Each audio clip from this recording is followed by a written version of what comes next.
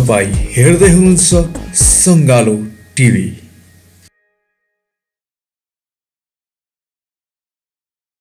भ्यागुत्ताको बिहे गर्ने। भ्यागुत्ताको बिहे गराएर पानी पार्ने। कहाँबाट आउँछ बादल भ्यागुत्ताको बिहे? विभिन्न ढङ्गले यसले सामुदायिक रेडियोको सञ्चार क्षेत्रको सञ्चार क्षेत्र र समाजका बिचको सम्बन्धको सञ्चार क्षेत्र आफैलाई नियमित व्यवस्थित मर्यादित र प्रभावकारी बनाउने कुराको सञ्चार क्षेत्रहरूका बिचको सम्बन्धको सञ्चार क्षेत्र र सरकारसँगको सम्बन्धको र यस्ता अनेक पक्षहरूमा र खास गरी नीति निर्माण र आवश्यक चालिनुपर्ने कदमहरूको सन्दर्भमा पनि यसले उपयुक्त सिफारिस निष्कर्षहरू निकाल्न सकोस्। मेरो धेरै धेरै शुभकामना छ।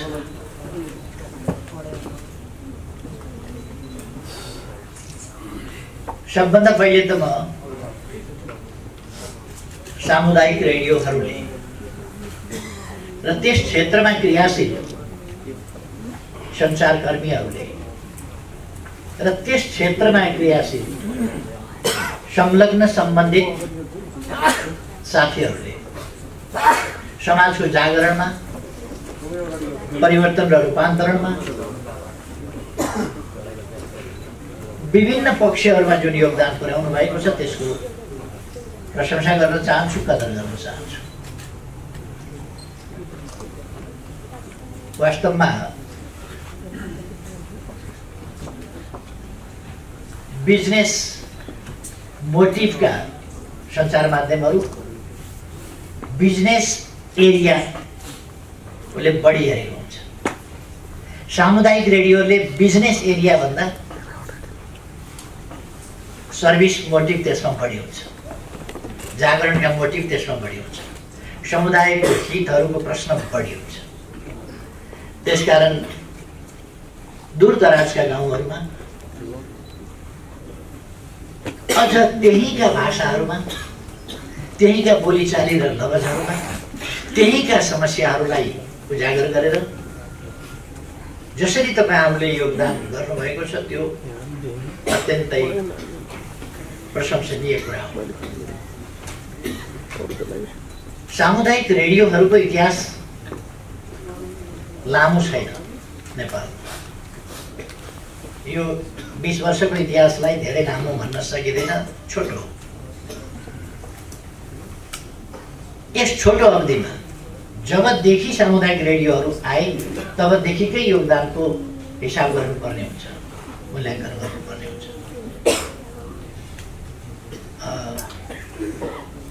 मैले प्रशंसा गर्दै जाँदा पञ्चायतकालमा पञ्चायत विरोधी आन्दोलनहरूभन्दा बढी सामुदायिक रेडियोको योगदान बढी थियो भन्यो भने अलिक मिल्दैन कि जस्तो लाग्छ। जेसुकै कुरालाई पनि हामीले वस्तु फरक तर फरक ढङ्गले नै प्रस्तुत गर्नुपर्ने हुन्छ। जब सामुदायिक रेडियो स्थापना भयो त्यसको एउटा क्रम अगाडि बढ्यो। त्यसपछि सामुदायिक रेडियोको क्षेत्रले महत्त्वपूर्ण काम गरेको छ र छोटो समयमा आफूलाई सङ्गठित गरेर कठिनाइहरू अप्ठ्याराहरू समस्याहरू के छन्? तिनको समाधान कसरी गर्न सकिन्छ? कर्तव्यहरू के हुन्? तिनको प्रभावकारी परिपालना कसरी हुनसक्छ जस्ता कुराहरूमा सङ्गठित ढङ्गले तपाईँहरूले ध्यान दिनुभएको छ। त्यसको एउटा जल्दो बल्दो दृष्टान्त यो तेह्रौँ वार्षिक साधारण सभा जसको आज उद्घाटन भएको छ।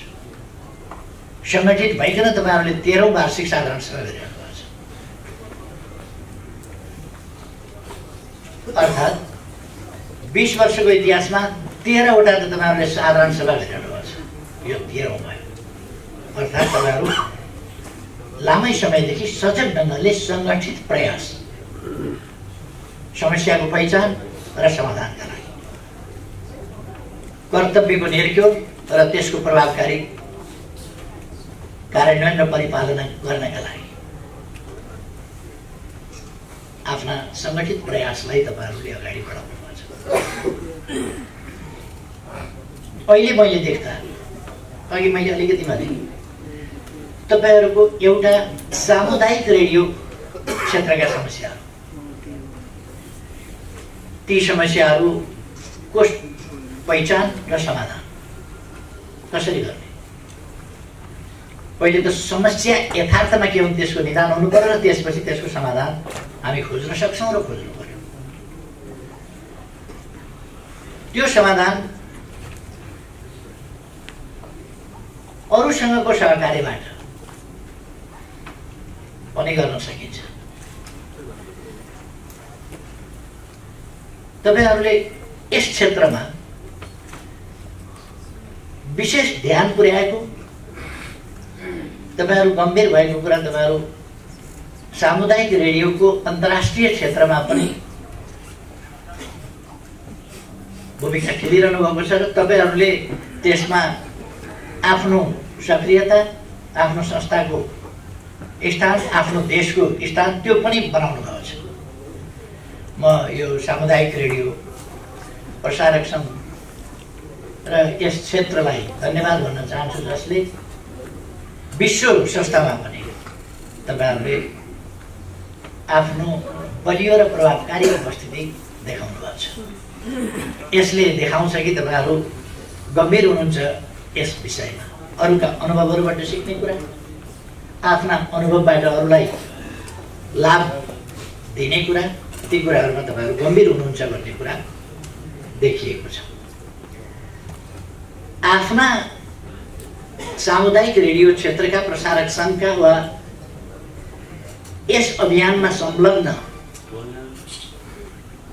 सञ्चालक वा पत्रकार साथीहरूका आफ्ना प्रयासहरू एउटा कुरा सञ्चार क्षेत्रका अरूसँग मिलेर गर्नुपर्ने कतिपय कामहरू हुन्छ सञ्चार सम्बन्धी नीति जसले यसलाई पनि समेट्छ अरूलाई पनि समेट्छ अथवा साझा प्रश्नहरू साझा उद्देश्यहरू साझा मागहरू र साझा समाधानहरू ती तपाईँहरूले अरूसँग पनि मिलेर गर्नुपर्ने हुनसक्छ त्यस कारण यस्तोमा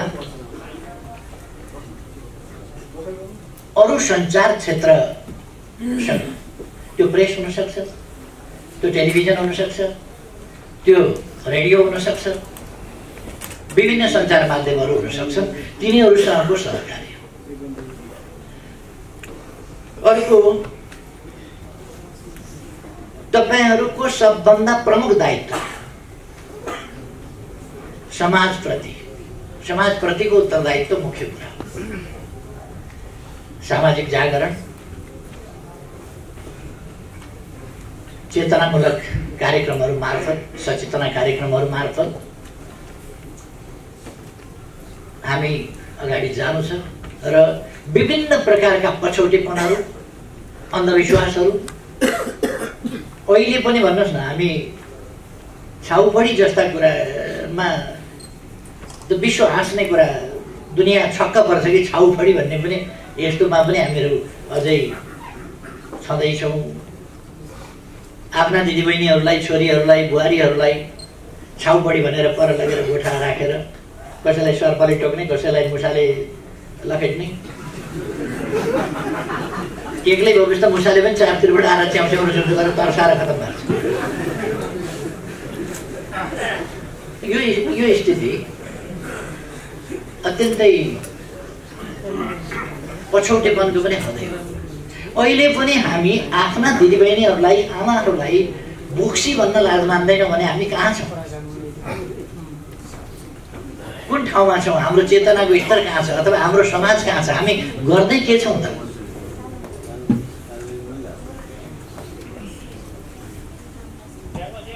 अहिले पनि हामीले पछाडि परेको समुदाय हो समाजको पछाडि परेको समुदाय यो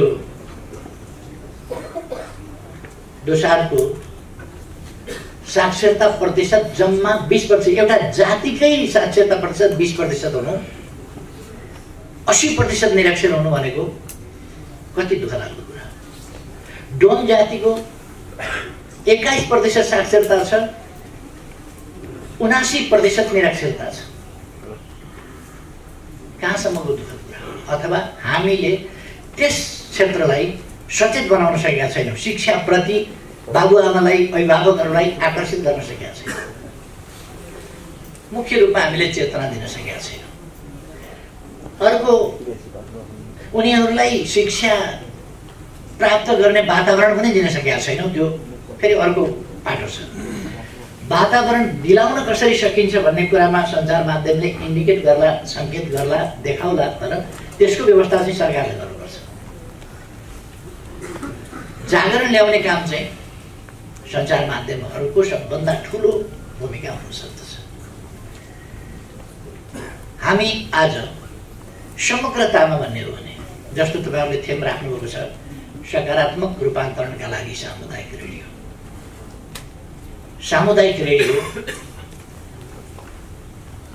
सकारात्मक रूपान्तरणका लागि। यो भनेको मोडर्नाइजेसन। अवधारणामा चेतनामा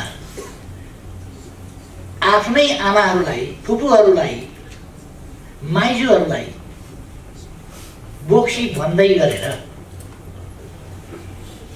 सामाजिक रूपान्तरण जागरणमा हामी कहाँ पुग्छौँ कहाँ पुगेका छौँ? समाजमा हामीलाई वास्तवमा लज्जाबोध हुनुपर्ने स्थिति छ।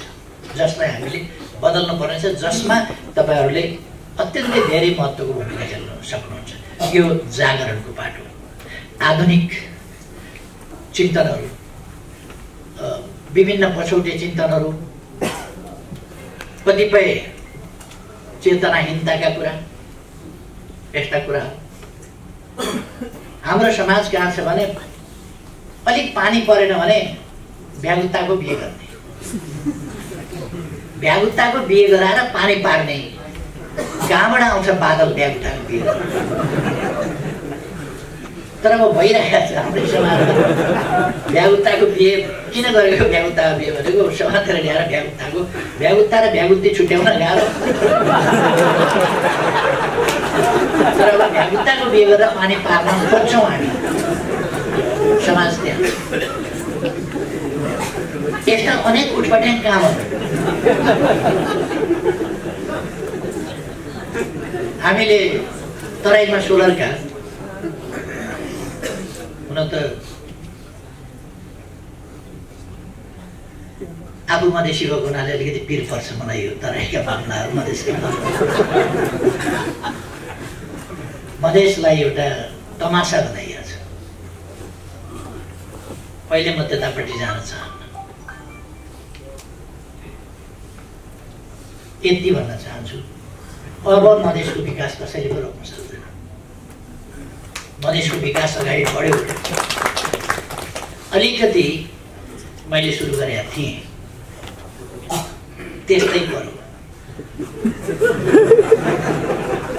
अब त्यो अगाडि बढ्छ?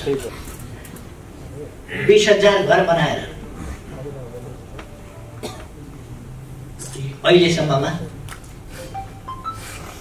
बिस हजार पोहोर भन्थे। घर मधेसका लागि महान आन्दोलन गरेर मलाई हटाइयो र बिस हजार घर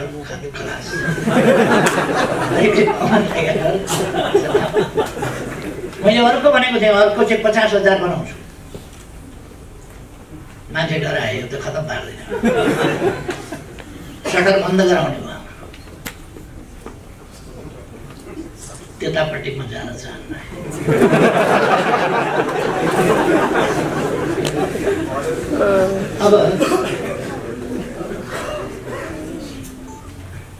यता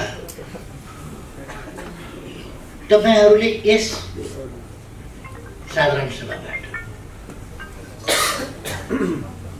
एकदमै व्यवस्थित ढङ्गले निष्कर्षहरू निकाल्नुहोस् सरकारलाई सुझावहरू दिनुहोस् सञ्चार नीति कस्तो कस्तो हुनुपर्छ रेडियो सम्बन्धी नीति कस्तो कस्तो हुनुपर्छ सामुदायिक रेडियो सम्बन्धी कस्तो नीति हुनुपर्छ त्यो गर्नुहोस्।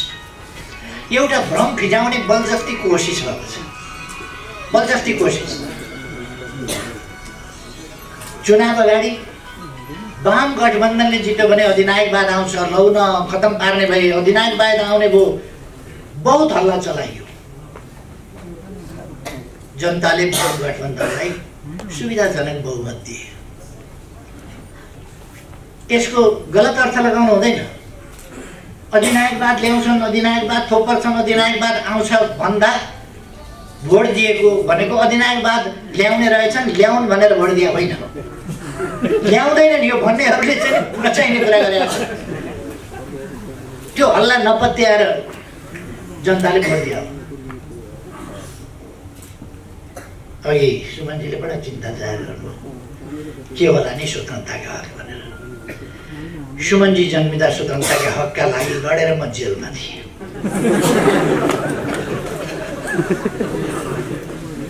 म ढुक्क रहन उहाँलाई आग्रह गर्न चाहन्छु ढुक्क रहनुहोस्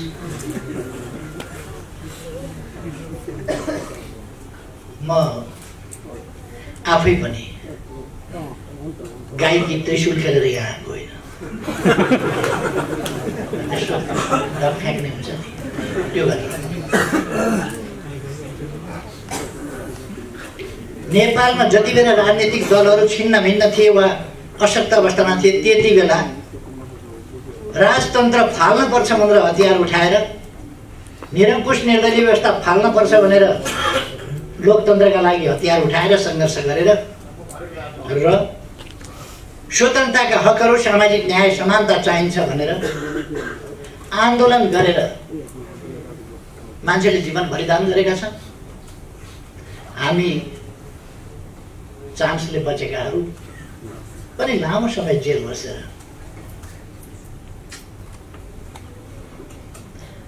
कथामा पढ्न सजिलो हुन्छ। मान्छेले यति पिटाइ खायो यति वर्ष जेल बस्यो। पढ्न सजिलो हुन्छ। तर साँच्चै जेल बस्न निरङ्कुश राजतन्त्र भएका बेला सजिलो चाहिँ हुँदैन थियो।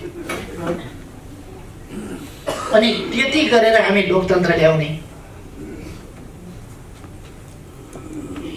यिनीहरूले त लोकतन्त्र मास्लान् जस्तो लाग्छ। के आधारमा लाग्छ? अहिले खोल्या हो पार्टी कि राणा शासनमा पार्टी खोलेर त्यसपछि सङ्घर्ष गरेर तनासाई ढालेर आएका हुन् कि लोकतन्त्रका लागि लडेर लोकतन्त्र ल्याउनेहरू हुन् कि? लोकतन्त्र ल्याइसकेपछि निर्वाचन आयोगमा दर्ता गरौँ नि त यसो भइहाल्छ। पहिले पहिले एउटा चलन चल्यो सत्तालिस पछि। पार्टी खोलेपछि एउटा टेलिफोन पाइन्थ्यो। त्यसै कारण धेरै पार्टी टेलिफोन लाइनको लागि। पार्टी खोल्यो। मेरो पार्टी फलानु पार्टीलाई टेलिफोन। बहुदल आएको छ पार्टी खोल्यो टेलिफोन नदिएर भयो सरकारसँग टेलिफोन होइन पार्टी। नेकपा एमाले त्यस्तो होइन। त्यति कुरा म भन्न चाहन्छु। ढुक्क साथीहरू जसको जसको मनमा छ नि आशंका ढुक्क भयो। मैले राजीनामा गर्दा ठिकै भन्नुहोस् भने राजीनामा गर्दा अर्को प्रधानमन्त्री बन्ने ठाउँ थिएन। नबुझेर नराखे होइन। त्यति बेलाको हाम्रो धारणा सहमति। चुनावसम्म हामीले चलाउने भन्ने नै थियो। संविधान बनाउँदासम्म कङ्ग्रेस र हाम्रो सहमति त्यही हो। त्यस कारण जानी बुझिकन त्यो अर्को प्रधानमन्त्री आउने ठाउँ नराखिएकै हो। पछि अब आत्तिनु भयो अरू आत्तिएपछि ल ठिक छ। छोडौँ। छोड्दा बन्ने ठाउँ बनाउनु पऱ्यो तत्काल मैले बाधा अड्काउ फुकाउने आदेश जारी गराएर अर्को प्रधानमन्त्री बन्ने बाटो खोलेँ। भिन्नता के छ भने लोकतन्त्रको पर्यायवाची पार्टी वर्ष ढोड ठहराएर भए पनि बाह्रै लाउनुहुन्छ। खासै दरबार त होइन। ढोडको आयु कति हुन्छ अलिकति समय भयो तर अलिकति बार चाहिँ लाउनुपर्छ मलाई अलिकति अप्ठ्यारो छ अरूको पार्टीको मामलामा धेरै प्रवेश गर्न पनि चाहन्छु नेपाली कङ्ग्रेसभित्र विश्वप्रकाश जस्ता अलिकति लोकतन्त्रको मूल्य मान्यता राख्नुपर्छ भन्ने धनराज गुरुङ जस्ता यस्ता साथीहरू पनि अलिक देखिन देखिन्छ. छन् साथीहरू त्यहाँ. तर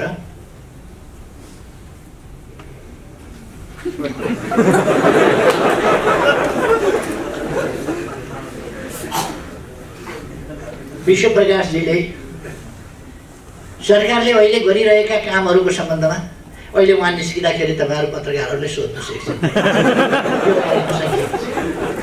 के भन्नुहुन्छ?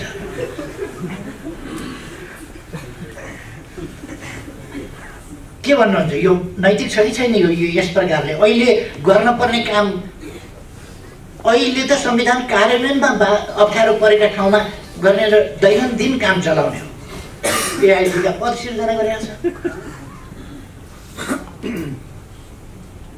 अब अनेक प्रकारका अहिले एक हजार जति कर्मचारीहरू यति बेला एक हजार जति कर्मचारीलाई विदेश सयर गर्न पठाइँदैछ। एउटा टिममा तपाईँहरूले आजको अखबार नै हेर्नुभयो भने एउटा टिमले पचहत्तर लाख अर्कोले पचहत्तर लाख एउटा निर्णयले नब्बे अर्ब राज्यलाई व्यवहार बोकाउँछ नब्बे अर्ब आज एकपल्टका लागि होइन सधैँका लागि बोकाउँदै जान्छ। अनि अहिलेको सरकारले त्यो नगरी नहुने के पर्यो? यही काम हो उसको। म्यान्डेट नभएको सरकार। सरकार अर्कोले नीति बनाउँछ अर्कोले चलाउँछ कसरी तर उद्देश्य के भने होला? अहिलेको गठबन्धन वाम गठबन्धन मन पर्दैन होला। जनमतको कदर गर्न सिक्नु पर्यो क्या लोकतन्त्रमा। मन पर्छ कि पर्दैन होइन? मन पर्छ पर्दैन भन्ने कुरा होइन कि त्यो सिक्नु पर्यो अलिकति लोकतन्त्रको आधार भनेको जनताको अभिमत हो। त्यसलाई कदर र? अब संविधान अहिले नयाँ छ। नयाँ संविधानको उपयुक्त ढङ्गले व्याख्या गर्ने र सकारात्मक व्याख्या गर्ने कि त्यसमा कहाँनिर अल्झाउन सकिन्छ र के गर्न सकिन्छ भनेर खोज्ने? प्रश्न त्यो मैले छोड्दाखेरि प्रधानमन्त्री अर्को आउने ठाउँ थिएन। अहिलेसम्म काम चलाउ भएर बसिरहन सकिन्थ्यो। अहिलेसम्म। किन अर्को बनेट त ठाउँ थिएन। कहाँबाट भन्छ। त्यसर्थ मैले तत्काल बाधा अड्काउ फुकाएर राजीनामा गरेर यसरी बनोस् सकारात्मक ठाउँ कसरी बनाउने लोकतन्त्रको सही कार्यान्वयनका लागि संविधानको सही कार्यान्वयनका लागि कसरी अगाडि जाने? त्यो गर्ने। एउटा भ्रम राख्नुहुन्न। हामी उहिलेदेखि भनेका भनाइ छ। संविधान अपरिवर्तनीय दस्तावेज होइन। दुनियाँमा जहाँको संविधान पनि एकदम परिपूर्ण कहिल्यै परिवर्तन गर्न नपर्ने भन्ने संविधान कहीँ हुँदैन। संविधान परिवर्तन हुन सक्छ। परिवर्तन हुन सक्छ भनेपछि कस्तो परिवर्तन गर्नुपर्छ? देशको हितको पक्षमा जनताको हितको पक्षमा लोकतन्त्रको कार्यान्वयनका लागि सबलीकरणका लागि जनतालाई समृद्ध बनाउन अधिकार सम्पन्न बनाउनका लागि गर्नुपर्छ। देशलाई दुर्गामी रूपमा टुक्र्याउने खालका?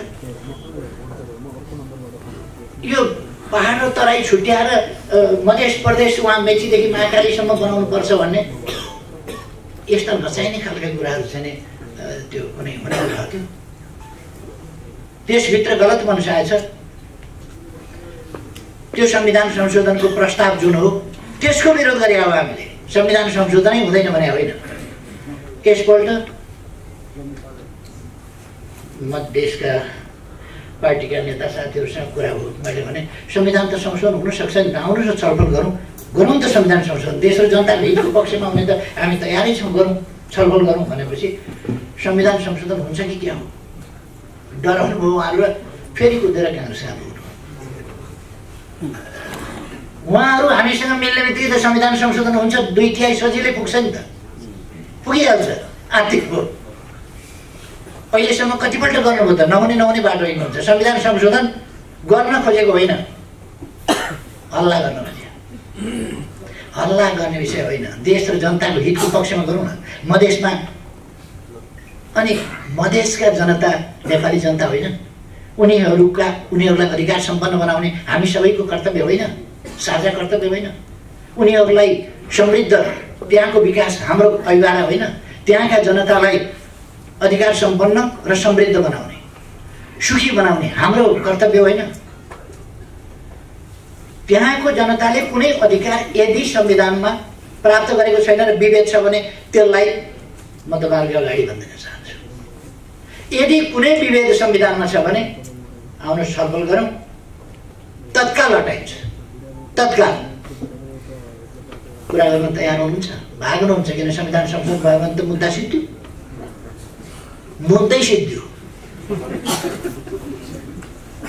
मुद्दा बोकेर हिँड्ने होइन समस्याको समाधान खोजेर हिँडौँ मेरो आग्रह समा समाधान खोजौँ न समाधान गरौँ समस्याहरूको मेरो आग्रह साथीहरूलाई त्यसकारण म कुनै प्रकारको भ्रम नराख्न आग्रह गर्न चाहन्छु अहिले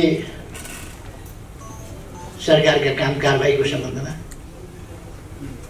तिन वर्ष हुन मैले हिजो पनि भने सिइओ हटाएर एकजना कार्यकर्ता भर्ती गरियो। कार्यकर्ता कहिले कार्यालयमा भेटिँदैनन् त्यो पुनर्निर्माणको कामको कुनै मतलब छैन। कहाँ छन् भन्यो प्युठान कहाँ छन् भन्यो प्युठान किन रहेछ भने उम्मेदवार हुने तयारी सबै खोइ त सिइओभन्दा उम्मेदवार। कहाँबाट काम हुन्छ अनि कामै भएन। अहिलेसम्म के काम भयो पहिलो किस्ता दिएको छैन। अहिले आएर एक एक लाख फेरि थप्ने। अनि एक एक लाख थपेर नब्बे अरब जतिको व्यवहार पैसा पहिलेकै खर्च भएको छैन। राज्यले एक सय तिन अरब सञ्चित कोषमा छ भनेर बजेट पेस गरेको थियो। अहिले महालेखाले प्रतिवेदन दियो। एक सय तिन अरब सञ्चित कोषमा छ भन्ने झुटो विवरण दिएको थियो। अडचालिस अरब थियो। अहिले सङ्घीयतामा हामी गएपछि कर्मचारी अझ बढी आवश्यक छ हामीलाई। हामीले सायद असी पचासी हजार थप कर्मचारी राख्नुपर्ने अवस्था छ।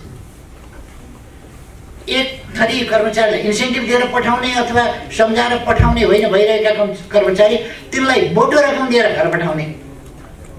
त्यसलाई मोटो साठी अरब दिएर घर पठाउने कर्मचारीहरूलाई। साठी अरब दिएर भइराखेका कर्मचारी घर पठाउने अरू फेरि ठुलो व्यवहारका साथ नयाँ कर्मचारी भर्ना गर्ने जो अझ एक्सपिरियन्स पनि हुँदैन। अनएक्सपिरियन्स नयाँ भर्ना गर्ने पुरानालाई साठी अरब दिएर घर पठाउने। कर्मचारी त फेरि कर्मचारी नै भर्ता भर्ना गर्नु पर्यो।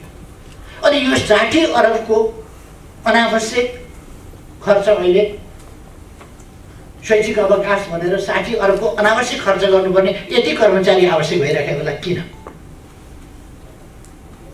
यो भनेर साध्य छैन। एउटा के भने कुनै दल कुनै गठबन्धन केही भन्न पर्न सक्छ तर देश नै कङ्गाल बनाउने गरी ढिकुटी नै रित्याउने गरी अब बन्ने सरकारले चलाउनै नसकोस्। त्यसकारण मैले हिजो मिड द प्रेस गरेर भने यस्ता निर्णयहरू अस्वीकार गरिनेछ। यस्ता निर्णयहरूको सम्बन्धमा यसभित्र करप्सन छ भने त्यसको हेरविचार छानबिन हुन्छ। यस्ता निर्णयहरू अनधिकृत अनुचित र अनैतिक छन्। ती स्वीकार्य हुँदैन। यो अलिकति पपुलिस्ट भएन भनेर एमाले त्यस्तो चिन्ता गर्दैन। पपुलिस्ट हुनका लागि होइन। एमाले देश बनाउन समर्पित छ। देशलाई समृद्धिमा लान समर्पित छ।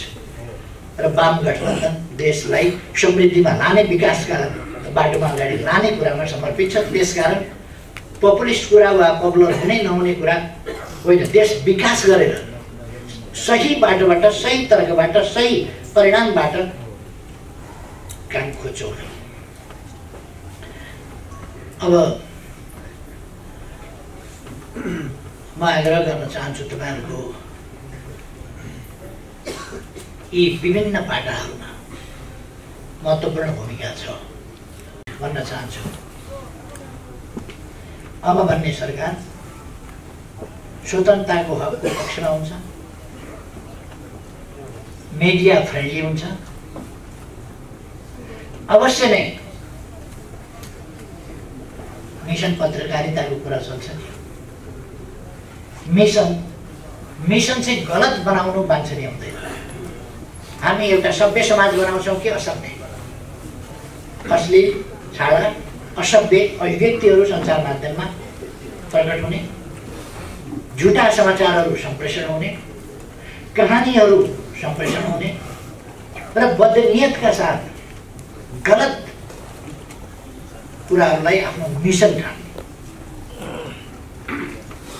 अघि महाराजीले अलिकति भन्नु मिसन हाम्रो के हुनुपर्छ भन्दा मिसन त हुनुपर्छ तर देश हाम्रो मिसन हुनु पऱ्यो जनता हाम्रो मिसन हुनु पऱ्यो लोकतन्त्र हाम्रो मिसन हुनु पऱ्यो सामाजिक न्याय र समानता हाम्रो मिसन हुनु पऱ्यो राष्ट्रिय एकता हाम्रो मिसन हुनु पऱ्यो र समृद्धि विकास र समृद्धिको कुरा हाम्रो मिसन।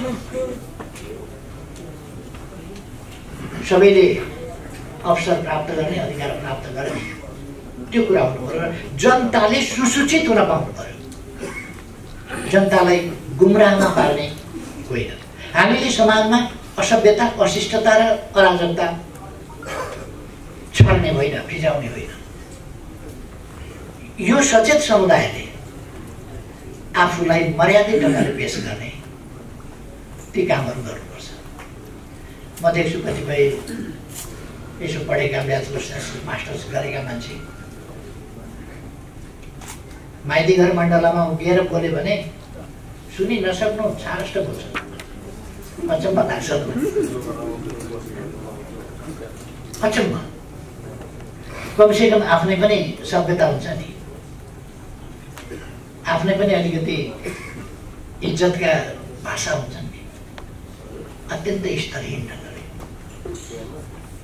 आवेश उत्तेजना आग्रह र जुनसुकै वर्गको ओढेको भए पनि उसको सीमित सङ्कीर्ण राजनैतिक स्वार्थ वा त्योभन्दा पनि तलको निजी स्वार्थ बोकेर अनि ठुला कुरा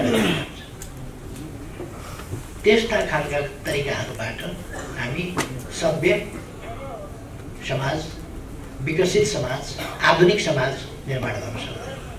आज हामीसँग थुप्रै कुराको अनुकूलता छ विज्ञान प्रविधिको धेरै विकास छ सञ्चार क्षेत्रमा धेरै विकास छ। मोबाइलको पेनिट्रेसन यति धेरै छ कि हात हातमा मान्छेका मोबाइल छन्। तपाईँको रेडियो रेडियो किन्न नसक्नेले पनि मोबाइलबाटै सुन्छ सुविधा छ सजिलो छ अब यसलाई हामीले बढीभन्दा बढी कसरी प्रयोग गर्न सक्छौँ? समाजलाई आधुनिकीकरण बनाएर समाजलाई जागरुकता बनाएर कसरी अधिकतम प्रयोग गर्न सक्छौँ? हाम्रो रेडियोहरूलाई त्यसको क्यापेसिटी फ्रिक्वेन्सीको मात्रै कुरा होइन। त्यो पनि आवश्यक छ। सँगसँगै त्यसको सामाजिक आकर्षण प्रभावकारिता विश्वसनीयता। त्यसलाई कसरी विश्व विकास गर्ने? जसबाट जनताले सुनेपछि त्यसलाई विश्वास गरोस् पत्याउने स्थिति होस् यस्तो है भनेर भन्दाखेरि त्यसले प्रसारण गरेपछि। अब त्यो स्थिति चाहिँ हामीले आफैले कायम गर्नुपर्छ। अब मैले धेरै समय नलियो मेरो प्लेनको समय पनि भइसक्यो। म फेरि एकपल्ट यो सामु सामुदायिक रेडियो प्रसारक सङ्घ नेपाल यसको सफलताको कामना गर्छु आगामी दिनमा यो अझ सुदृढ व्यापक हुन सकोस् अहिले नै तपाईँहरूसँग तिन सयभन्दा बढी रेडियोहरूको एउटा नेटवर्क आबद्ध छ तिन सय पन्ध्र जति होला त्यो अझ बढ्न सक्ला तपाईँहरूले उठाउनु भएको कुरो के भने हरेक स्थानीय तहले आफैले दर्ता गर्ने आफैले चलाउने गर्दै जाने हो भने डुप्लिकेसन मात्रै हुन्छ र अनावश्यक खर्च हुन्छ भन्ने तपाईँहरूको जुन चिन्ता हो त्यस चिन्तालाई समन्वयात्मक ढङ्गले हामीले अनावश्यक विकास निर्माणका खर्चलाई अर्को रेडियो भइरहेको छ भने त्योसँग सहकार्य छोडेर फेरि अर्को आफैले छुट्टै बनाउने र त्यसमा खर्च गर्ने खालको कुरा हुनु हुँदैन भन्ने तपाईँहरूको कुरा त्यो ध्यान दिन योग्य छ भन्ने मलाई लाग्छ। तपाईँहरूले सुविधा सहुलियत राज्यबाट हेरिने कुराहरू र दृष्टिकोण राज्यको अथवा विज्ञापनको न्यायोचित वितरणका कुराहरू जो उठाउनु भएको छ। ती कुराहरू ध्यान दिन योग्य छन्। अहिले त मैले सुने अहिले त सुनियो मात्रै। अब तपाईँहरूले जुन निष्कर्षहरू निकाल्नुहुन्छ र सिफारिसहरू गर्नुहुन्छ त्यो सिफारिसमाथि हामी विशेष गम्भीरताका साथ ध्यान दिन्छौँ र त्यसको कार्यान्वयन कसरी प्रभावकारी ढङ्गले गर्न सकिन्छ अनुकूल ढङ्गले गर्न सकिन्छ त्यसमा हाम्रो ध्यान जानेछ। हामी कमसे कम के भन्न चाहन्छु म भने अब बन्ने सरकार स्वतन्त्रताका हकका लागि लडेर आएको सरकार मैले धेरै ठाउँमा भन्ने गरेको छु मलाई केही चिजको पनि लोभ छैन किनभने म फाउको जिन्दगी बाँचिरहेको मान्छे कुनै चिजको लोभ छैन। त्यसकारण मैले कर्तव्यको पालना गर्छु। को रिसाउँछ त्यो पनि धेरै मतलब राख्दिनँ को खुसी हुन्छ त्यसबाट पनि मलाई केही लिनु छैन। यो को रिसाउँछ र को खुसी हुन्छ भन्ने कुरा भन्दा के हो गर्नुपर्ने?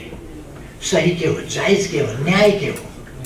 देशको विकासका लागि के गर्नु पऱ्यो जनताको हक अधिकार र अवसरका लागि के गर्नु पऱ्यो सुरक्षा र सम्मानका लागि के गर्नु पऱ्यो हरेक नागरिकलाई हामीले संविधानबाट समानताका हकहरू प्रत्याभूत गरेका छौँ। त्यो कसरी प्रभावकारी ढङ्गले कार्यान्वयन गर्ने त्यसमा व्यक्तिगत तवरमा मेरो ध्यान हुन्छ। त्यसकारण कुनै भ्रष्टाचार गर्नु छैन कमिसन लिनु छैन केही गर्नु छैन। त्यसो भएर लोभ लालचबाट मुक्त हुनाले मलाई काम गर्न अलिक सजिलो पनि छ कसैले धम्काएर तर्साएर पनि केही हुँदैन। म धेरैपल्ट मारेर पुर्ने भनेर खाल्डो खानेका ठाउँबाट पनि फेरि कसो कसो बचेर फर्किए मान्छे। हेलिकप्टरबाट खस्दा पनि फेरि बचियो। हेलिकप्टर धुलो पिठोको आफू बचियो बचिएरै आइहाल्छ। गाडी पल्टिन्छ तै पनि बच्छु। मोटरसाइकल उछिटिन्छ मैलाई केही हुँदैन किडनी फेलको एउटाले दियो तपाईँको फेरिदिएँ एघार वर्ष चल्या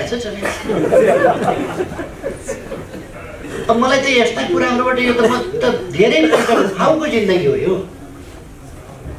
त्यस कारण मलाई त्यो फाउको जिन्दगीलाई सदुपयोग गर्ने बाहेक केही पनि छैन त्यो देशका लागि जनताका लागि। कुनै सम्पत्ति कमाउनु छैन कुनै केही कमाउनु छैन। नेपाली जनताले महत्त्वपूर्ण ठाउँहरूमा जिम्मेवारीहरूमा पनि पुर्याइदिएका छन्। विश्वास गरेका छन्। कृतज्ञ छु? सञ्चार माध्यममा कसै कसैले अन्य कुनै कारणले गाली गरे पनि भ्रष्टाचार गरेका छैन भन्ने सबैलाई थाहा छ। गर्दैन भन्ने पनि सबैलाई थाहा छ। देशका लागि काम गर्छ भन्ने पनि सबैलाई थाहा छ। त्यस कारण भित्रभित्र माया गर्छ। अहिले कार्यक्रम सकिएपछि तपाईँले विश्व प्रकाशजीलाई सोध्नुहोस् अथवा सुमारीलाई सोध्नुहोस् उहाँहरूले के भन्नुहुन्छ? राजनीति मिल्दैन मान्छे ठिकै छ।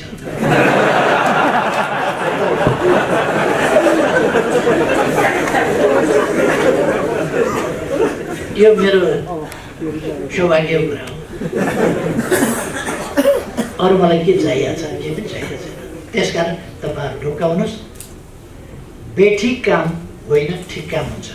हाम्रो सामर्थ्यको सीमा छ भन्ने कुरा चाहिँ म तपाईँहरूलाई फेरि भन्न चाहन्छु। किनभने हामी असा असीमित सामर्थ्य असीमित स्रोतका साथ छैनौँ हामी प्राकृतिक स्रोत हामीसँग छ तर मौद्रिक वित्तीय आदि स्रोतहरू अलिक कम छन् हामीसँग मानसिकताको भावनाको कमी छैन तर त्यसले मात्रै फेरि सबै कुरा धान्दैन नि मदन भण्डारीले एकपल्ट भन्नुभएको कुराले चिउरा भिज्दैन भनेर त्यो चिउरा भिजाउनु पर्छ भन्ने थाहा त छ मानसिकता छ तर जति भन्यो भने भावनाले चिउरा भिज्दैन नि। कि दही हाल्नु पऱ्यो कि केही हाल्नु पऱ्यो कि दुध हाल्नु पऱ्यो पानी भए पनि हाल्नु पऱ्यो र मात्रै भिज्छ। हामीसँग पानीको ग्लास चाहिँ अलिक सानो सानो छ। अलिक थोरै थोरै। त्यो त्यसले कति सीमित गर्छ हामीलाई? त्यो चाहिँ एउटा पक्ष हो। अब अन्त्यमा म तपाईँहरूको यस तेह्रौँ वार्षिक साधारण सभाको भव्य सफलताको निम्ति हार्दिक शुभकामना व्यक्त गर्न चाहन्छु। साथीहरूले बहुत महत्त्वपूर्ण विचारहरू व्यक्त गर्नुभएको छ। धेरै धन्यवाद भन्न चाहन्छु। कतिवटा विषय उठाइदिनु भयो। मैले त जुन विषयमा जहाँ जे सन्दर्भ छ त्यो मात्रै बोल्ने गरेका थिएँ। साथीहरूले अलिकति मलाई पनि उकेर लगाइदिनु भइहाल्छ। जसले गर्दा एक दुईवटा थप कुरा पनि भन्ने मौका मिल्यो नत्र भने म सामुदायिक रेडियोकै सेरोफेरोमा मात्रै बोल्थेँ आज मेरो आदत पनि त्यही हो। खै अब आयोजक साथीहरूलाई म विशेष धन्यवाद दिन चाहन्छु। उहाँहरूले मलाई यहाँ आमन्त्रण गर्नु केही कुराहरू मैले राखेँ। तपाईँहरू सबैको निम्ति मेरो धेरै धेरै शुभकामना छ। सबै साथीहरूलाई धन्यवाद संस्थालाई धन्यवाद शुभकामना। सङ्गालो टिभी।